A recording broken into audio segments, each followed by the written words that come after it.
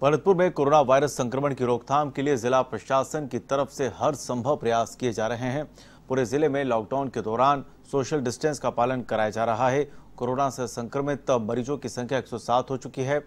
वहीं आगामी समय में अक्षय तृतीया, परशुराम जयंती और रमज़ान को देखते हुए जिला कलेक्टर नथमल डिडेल ने सभी से अपील करते हुए कहा है कि जिस तेज़ी से कोविड 19 संक्रमण फैलता है, उसे देखते हुए सभी जिलेवासी लॉकडाउन और सीआरपीसी की धारा 144 का पालन करें।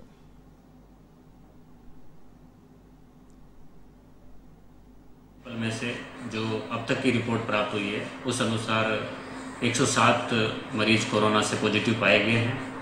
जिस स्पीड से संक्रमण बढ़ता जा रहा है, मैं भरतपुर वासियों से यही रिक्वेस्ट करूँगा कि लॉकडाउन और सीआरपीसी की धारा एक सौ चौवालीस का पूर्णतः पालन करें।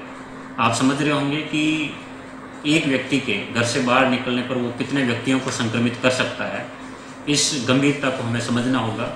अदरवाइज़ एक समय के बाद ये स्थिति हमारे नियंत्रण में रही, नहीं रहेगी। इस बाबत प्रत्येक व्यक्ति अपना संपूर्ण सहयोग जिला प्रशासन का करे, ताकि हम समय के साथ स्वास्थ्य सर्वेक्षण पूरा कर सकें, अस्पताल की